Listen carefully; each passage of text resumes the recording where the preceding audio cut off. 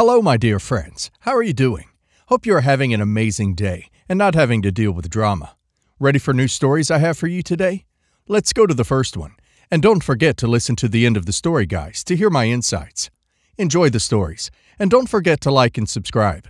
And of course, don't forget to leave a comment.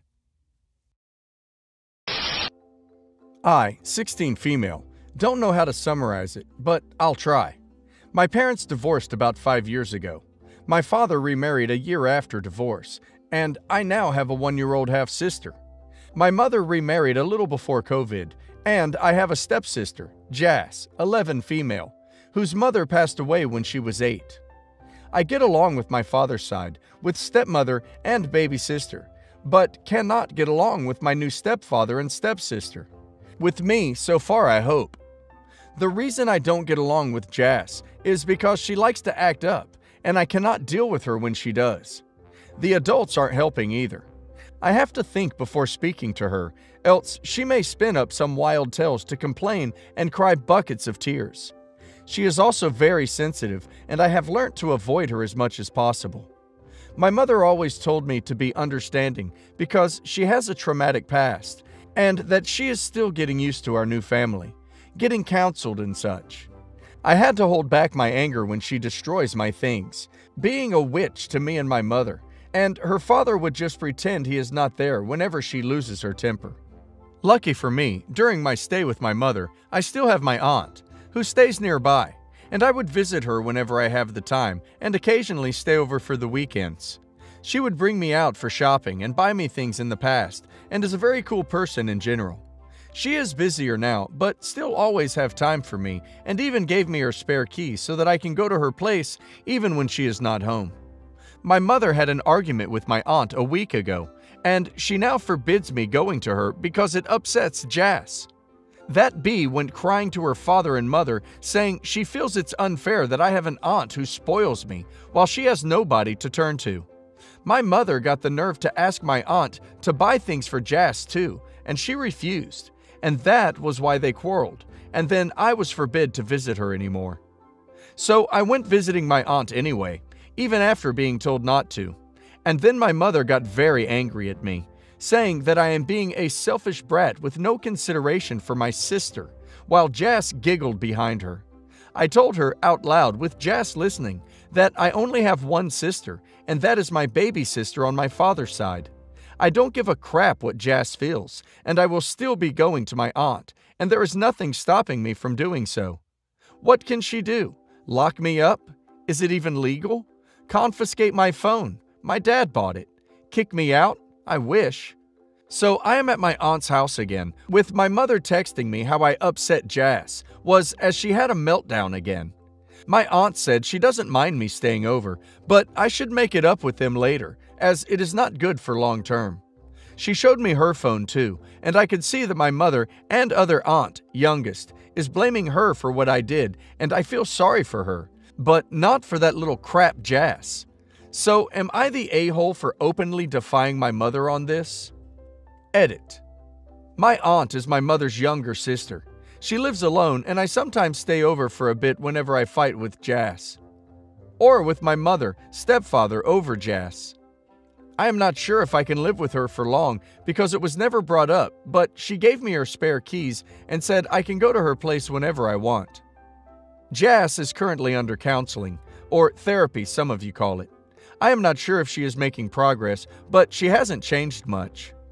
I would love to live with my father, but he is currently living with my stepmother's parents because one of them is sick and I don't really want to disturb them right now. At the very least, at my mother's side, I can get to look for my aunt. OP is not an a hole. OP's aunt is right that OP has got to find a long term solution, but that solution should take the realities into account. OP's stepsister shouldn't get all the priority. And just because OP's stepsister doesn't have a cool aunt doesn't mean that OP should stop seeing hers.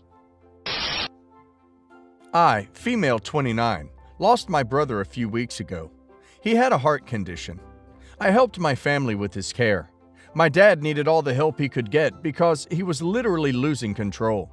My husband and I been married for two years. There's an ongoing conflict between him and my dad.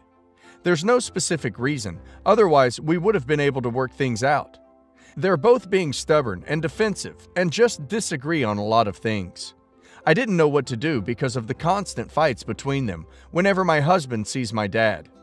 I'll have to admit, my husband is the one who refuses to have a civil talk. My husband stopped coming while my brother was sick because my dad told him he couldn't deal with him while taking care of my brother.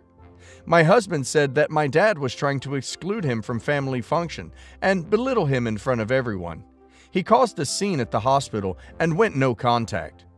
When my brother passed away, my dad called me and told me he didn't want my husband to come to the funeral. From his voice, my dad was devastated. Everyone was. My husband insisted on going. He told me he wanted to come with me to support me and extend his condolences. My dad saw him there, but he didn't say anything. Everyone was nervous. My dad extended his hand, but my husband refused to extend his. Everyone saw that, and it was disrespectful. My husband then was telling other family members how my dad wronged him. I told him this wasn't the time, but he kept talking. My dad heard that. He told me to ask my husband to leave immediately. I told my husband, and he got mad and threw a fit, saying my dad had no right to tell him to leave. My dad then got into an argument with him, and my husband told him loudly that he's just trying to gain sympathy and that he never cared about my brother, and he was just pretending to care. Claimed my dad didn't even cry. I was ready to leave with him, but after what he said, I sided with my dad and told him to leave. He acted shocked, and after a few minutes, he left. I went home with my dad and we cried together. My family was quiet the whole time. I started getting calls from my husband. I couldn't help but yell at him for what he said, and he tried to blame my dad, who just lost his own son. I told him I'm staying with my dad for a few days because I was really mad he hurt my dad and me like that. He said I was being unfair, and I shouldn't have let my dad kick him out, even though he tricked me into coming so he could badmouth my dad. No one appreciated his behavior and said he crossed the line. Yes, the a hole, for allowing husband to continue to come around and provoke OP's father during his time of bereavement. OP was going to originally leave with him after he blatantly disrespected her father by not shaking his hand. So that tells me that OP is an enabler for this childish and grossly disrespectful behavior. I'm happy OP finally stood up for her family, but I suspect OP allowed a lot of disrespect to be swept under the rug. My partner and I have been together for 21 years. We have a 15 year old daughter together and live together, but we never got married. For the first three years of our relationship, my partner and I lived out of our car and then later lived out of a trailer. He was not college educated. He was not college educated, and but was trying to build a business, and I was working my way through an associate's degree while taking minimum wage jobs. Around the fourth year of our relationship, my partner became confident about a certain business prospect and invested all of what we both had into the business. The business investment ended up tanking horribly, and my partner said that the only reason he stayed alive in the midst of the depression he felt during the aftermath was because of me. I write about this because every time our relationship for the past five years comes to a breaking point in my eyes, my partner cites these early years where we only had each other and desperately needed each other to convince me to stay.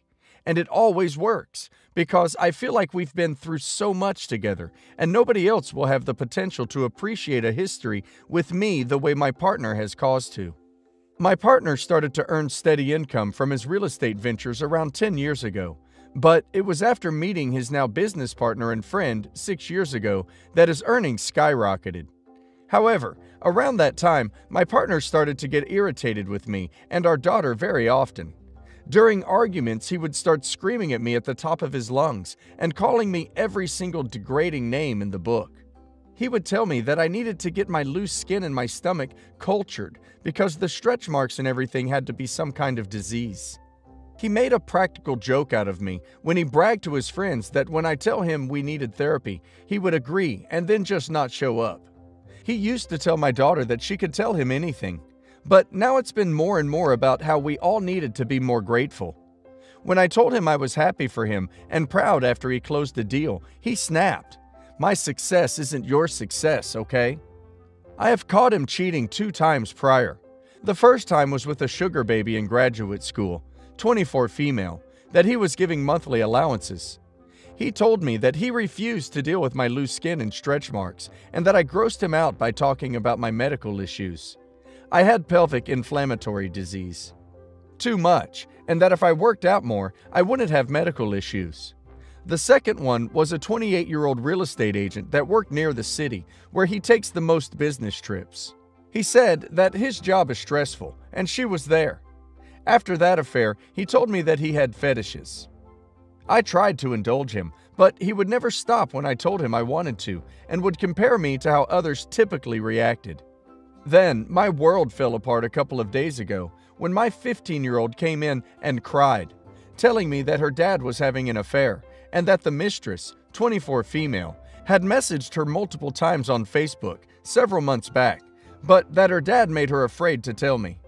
She said that her dad ignores and snaps at her after he gets in a fight with me, and is nice to her when things are well between us. The message was around February, and it told her that she and my partner were having an affair and that she deserved to know. Also, a bunch of other nasty stuff. Soon after, she told me the mistress had blocked her on Facebook and everything else, but she still has the messages. Her dad said this was just a crazy person and asked her if she wanted and thus was trying to break her parents apart and then said that a lot of her classmates with divorced parents rarely see their dads and struggle a lot financially, and even told her some stuff about how her health insurance would probably be non existent the moment she turns 18, and mine would be gone the moment we separated. I confronted my partner, and he admitted to having a two year affair with the woman. And he said that she gave him the things I would deny him S, and I always made him feel less than. I told him I didn't want to see him right now, and he asked if I was seriously kicking him out of the house he bought and I never put a dime into. I told him to leave, and he did. After he left, my daughter became super distraught and said that she is getting panic attacks just thinking about the possibility of the mistress becoming her stepmother and begged me to take my partner back if it meant avoiding her ever having to live under the same roof as her. I looked through my partner's things and went through financial records that he had banned me from around six years ago. I found out that he had recently made payments to a doctor's office that was an OBGYN and very expensive jewelry store purchases. I looked it up and saw it was indeed an OBGYN office that advertised itself as catering to the elite. I then saw a string of iCloud messages one of which said that if worse comes to worse, that I could not find out about the baby until it was born, for financial reasons. When my partner came back to get some of his stuff, I told him to tell me if he got her pregnant. He admitted it and then started begging for forgiveness and citing that we've been through so much and that he will always care for me if I still allow him to. He refused to tell me when he found out about the baby or when it would be due, and told me that he was supporting their baby and the mother to his best ability, but that whatever she did, she deserved privacy. I asked him if he promised her marriage, and he said no and denied ever buying her a ring. Then he broke down and said that he did have great affection for her, but he wanted to work things out with me. What do I do? I don't even know if he wants to work things out. My sister told me that she thinks he just doesn't want me to file for child support before the child is born, because that would mean less money. My daughter is depressed and always in hysterics. She tries to reach out to her father and begs me to call him and asks if we can't work this out.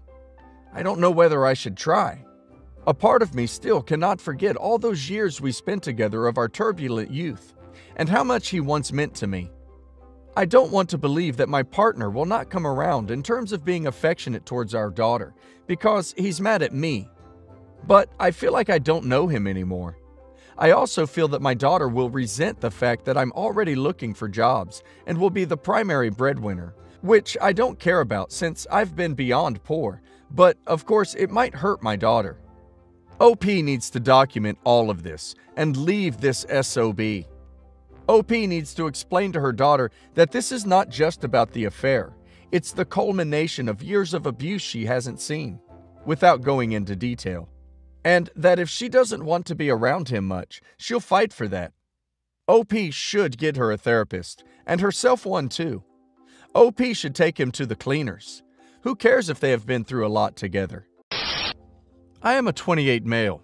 My mom married when I was 16 and brought my little ex stepbrother, who was two, into my life. Immediately, he became my buddy, and basically, he's my best friend. And since I bought my own place a few years back, he's always in and out of my house, and he has his own room. He keeps his nice clothes here, his sneaker collection, my old Xbox. Basically, it's a second home for him. After my mom and ex stepdad divorced, he remains very close in my life. They were very neglectful, and my brother got me through a bad time, and vice versa. My dad's dad, my grandpa, left me a decent amount of money in his will, and I was able to buy my home outright. I also have a very decent job, so I am able to save up a lot of my paycheck to buy different things for him. And also, the majority of my money goes into his savings for him for either college or a rainy day. I don't have any other siblings, in my opinion, apart from him. Three years ago, my mom remarried to a guy with three absolute bratty kids in the 18 to 13 age range. I had already moved out long ago by then. Whenever I go to visit, they scream that there's an intruder in the house. They try to kick my dog, say, What the hell are you doing here? Just nasty little kids. My mom and her partners are what I'd call middle class rich. And the kids are really entitled as a result of never being told no. On Wednesday, I went to visit my mom with my brother. She is always happy to see him, so sometimes he comes along. The 13 year old kid started yelling about the sweater my brother was wearing and told his dad that it was stupid expensive. My mom then decided to pipe up and said, Chris will give you cash to buy it, won't he? I just looked at her like, what the duck? She said it was his birthday in March, so you can call it a gift, and looked at me expectantly. I just said, sorry, mom, I didn't bring any cash with me, and I kind of laughed it off. We left after, but I called her that night and told her it was pretty crappy of her to put me in that spot, and I don't know her kids, nor am I responsible for buying them $500 sweaters. I spoil my brother because I raised him when her and my ex stepdad were off keeping up with the Joneses and doing coke off each other's tits. Her new stepchildren are her responsibility alone. She said I'm being unfair, and if I can stand to spoil one kid, I can spoil the rest. She mentioned that I'm in a privileged spot and I should be helping with stuff like this to keep my family happy. Am I the a hole here? Not an a hole. Seriously, not OP's kids, so not really on OP to provide anything for them. She and her husband can buy their birthday gifts when their birthdays roll around.